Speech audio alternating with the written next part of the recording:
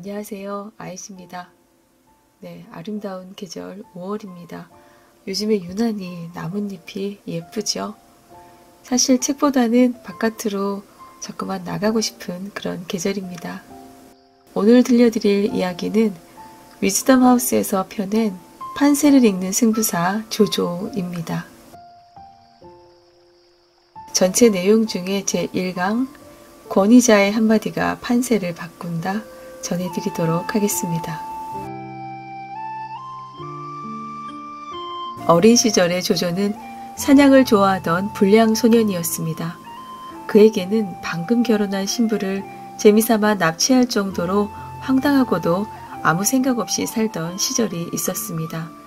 그런데 보통 사람의 눈으로 보면 무례한이었던 그가 훗날 인생에서 연이어 귀인을 만나면서 화려하게 변신해 결국에는 천하를 종행하는 시대의 영웅으로 성장을 했습니다.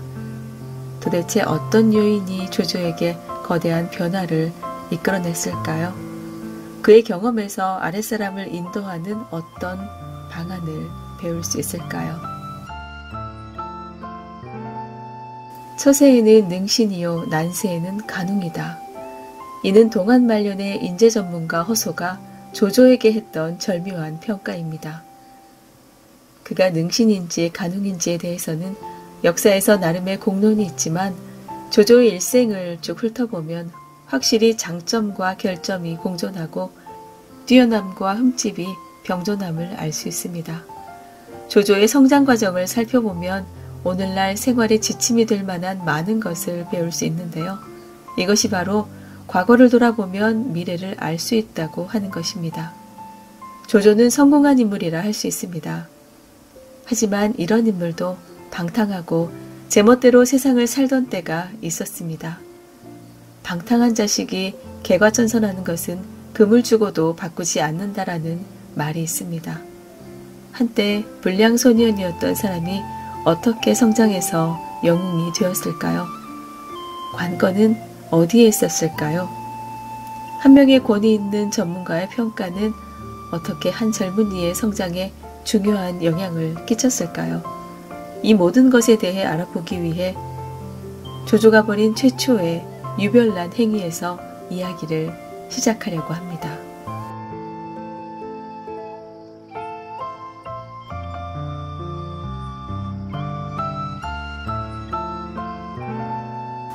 벼랑 끝 위기에도 열린 문은 있다.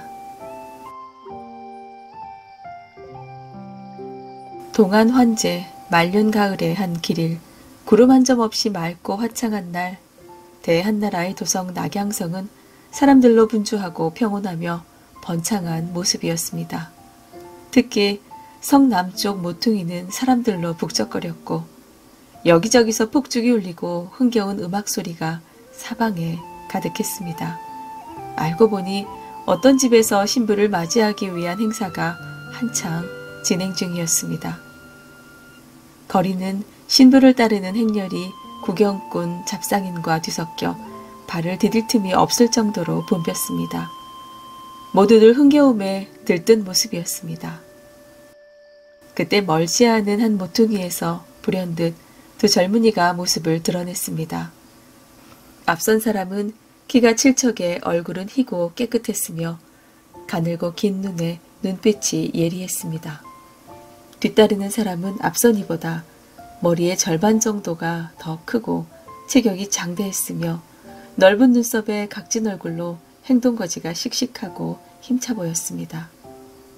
두 사람은 신부를 맞이하는 행렬의 뒤쪽에서 멀리 떨어져 사람들의 움직임을 관찰하며 낮은 목소리로 말을 주고받고 있었는데 그 모습이 마치 무슨 말하지 못할 일을 꾸미는 듯 했습니다.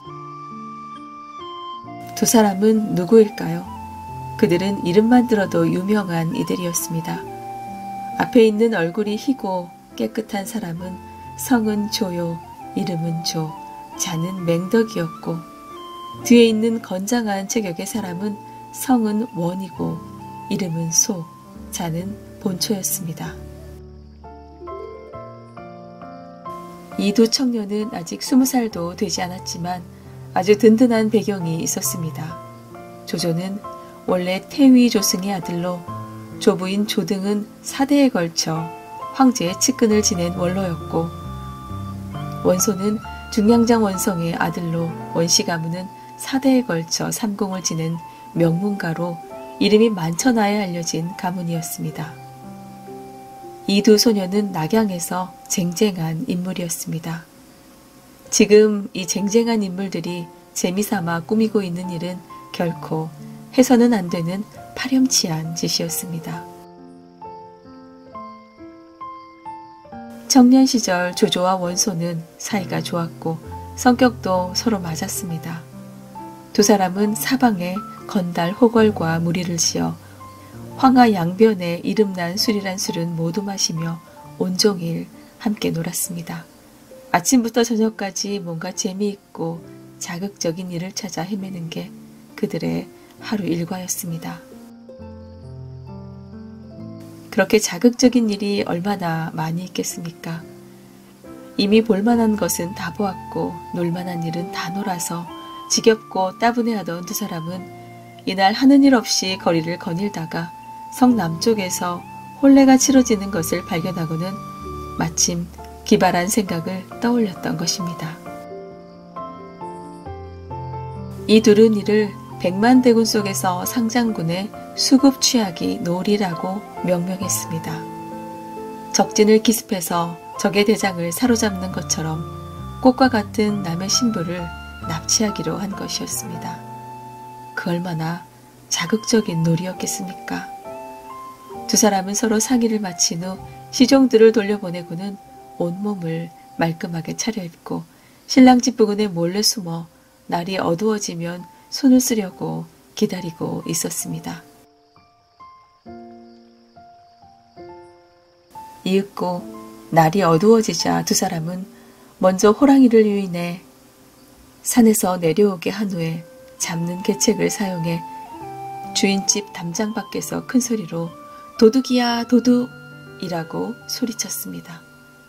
집안에 있던 사람들이 그 소리를 듣고 모두 도둑을 잡으러 밖으로 나섰습니다.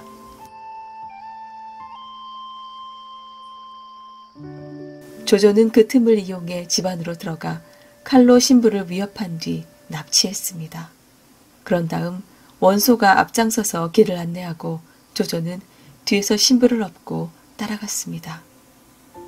두 사람은 너무 당황한 데다 날이 어둡고 길 또한 익숙하지 않아서 그만 길을 잃고 말았습니다. 뒤쪽에서 주인집 사람들의 도둑 잡아라 라는 소리가 점점 가까워지자 당황한 원소가 그만 꽈당하고 길가 가시나무 덤불 안으로 빠져버렸습니다. 원소는 발버둥을 쳤지만 가시에 찔려 빠져나오지 못하고 연신 맹덕 좀 도와주게 라고 소리쳤습니다. 당시 조조는 납치한 신부를 등에 업고 있었는데 원소가 도움을 요청하는 소리를 듣고는 보통 사람은 생각할 수 없는 수단을 썼습니다.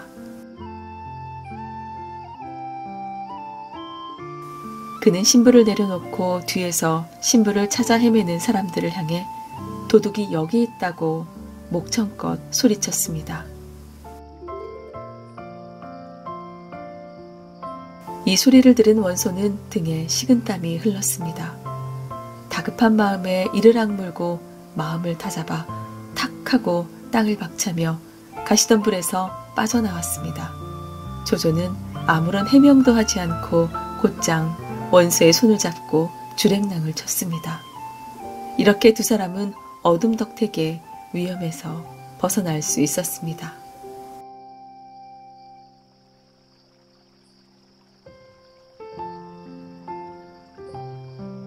승자는 누구도 생각하지 못한 판을 벌인다. 이 고사를 통해 조조가 어린 시절부터 관도대전을 치를 때까지 원소를 꿰뚫고 있었고 원소는 결국 조조의 소나귀에서 벗어나지 못했음을 알 수 있습니다.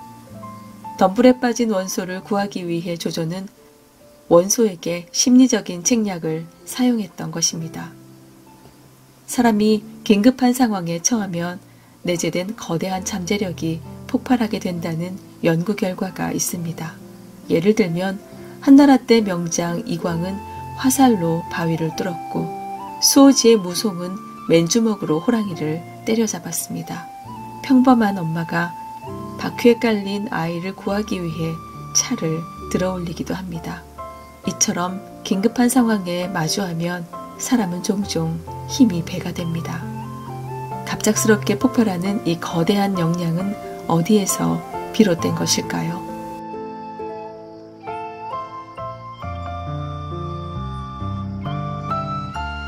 현대과학은 이런 사례들이 신비한 현상이 아니라 아드레날린의 공로임을 밝혀냈습니다.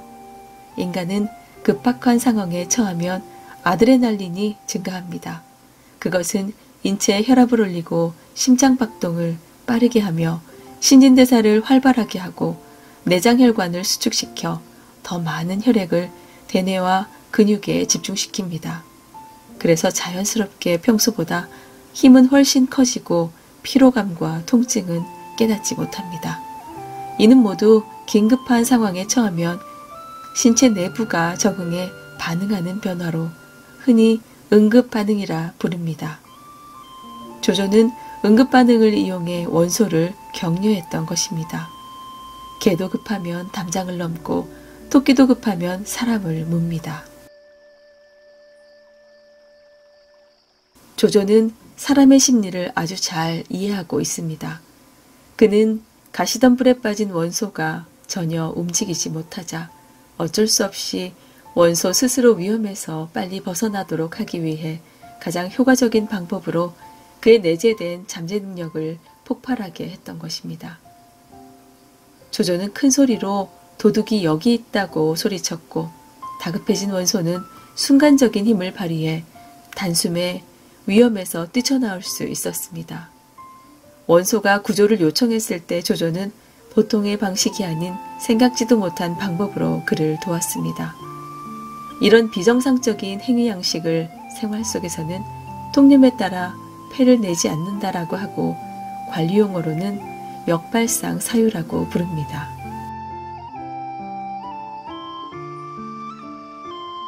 일반적으로 역발상으로 사유하는 사람은 혁신적인 생각으로 대담하게 문제를 돌파하고 항상 예상을 뛰어넘는 행동으로 다른 사람이 생각하지 못한 방법을 사용해 일을 성공시킵니다.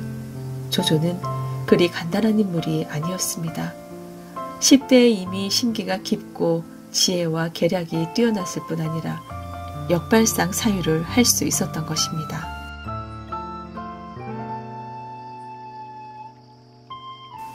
억압과 낙인이 영웅의 성장을 방해한다. 조조가 신부를 납치한 사건은 유의경이 쓴 세설 신어에 기록되어 있습니다. 이 고사로 조조가 당시 불량 소년 가운데 한 사람이었음을 알 수 있습니다. 삼국지도 조조가 소년 시절에 유협을 좋아하고 방탕했다고 이야기하는데 유협에 대해서는 알 수 없지만 방탕하고 법을 무시하며 겁없이 제멋대로 행동했던 것은 확실합니다. 이렇게 법을 무시하면서도 아무 거리낌 없이 대담하게 행동하는 어린 시절의 경험은 이후 조조의 의사결정 방식에 중대한 영향을 끼치게 됩니다. 탐색은 모든 청소년이 거쳐야 하는 성장의 한 단계입니다. 흔히 부모들은 자식이 너무 말을 듣지 않고 귀여운 구석이라고는 하나도 없으며 늘 사고만 친다고 이야기하곤 합니다. 사실 아이들에게는 두 가지 특성이 있음에 주목해야 합니다. 하나는 탐색과 시도를 좋아하는 것입니다. 다른 하나는 규율의식이 없어 쉽게 규범을 어긴다는 것입니다. 어린 시절의 대부분은 상식을 벗어난 특별한 행동을 좋아합니다.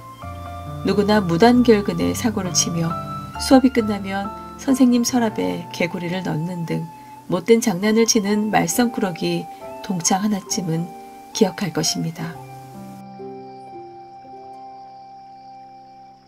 많은 사람들은 이렇게 규율을 어기는 행위를 도덕 문제나 성격 문제로 귀결시키고 이런 아이를 못된 아이 혹은 말썽꾸러기라고 낙인을 찍습니다. 그러나 이런 행위의 본질은 탐색과 시도를 통해 자신의 방식으로 세계를 인식하는 것이라 할 수 있습니다. 이렇게 규칙을 위반하며 탐색 활동을 하는 배우에는 종종 총명하고 예민하며 열정이 가득한 마음을 숨기고 있습니다. 과도한 탐색 행위를 합리적으로 인도해야지 냉정하게 꾸짖고 공격만 해서는 안 됩니다.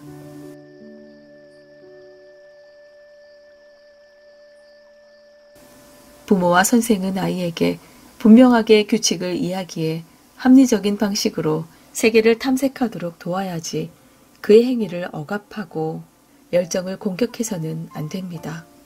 과도하게 탐색하는 아이는 응원과 지지로 능력을 키워주고 열정을 보호해 주어야 합니다.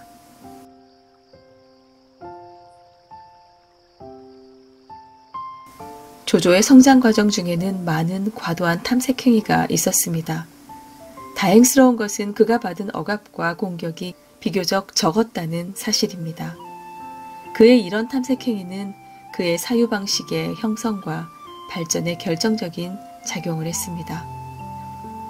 조조의 뛰어난 지략, 정확한 판단, 분석을 좋아하고 진부한 규정과 속박을 과감하게 돌파하는 자세 등은 모두 이를 기초로 형성된 장점이라 할 수 있습니다.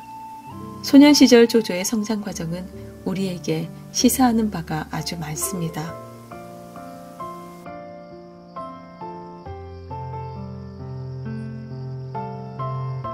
여러분의 구독과 좋아요, 알림 설정은 채널 성장에 큰 힘이 됩니다.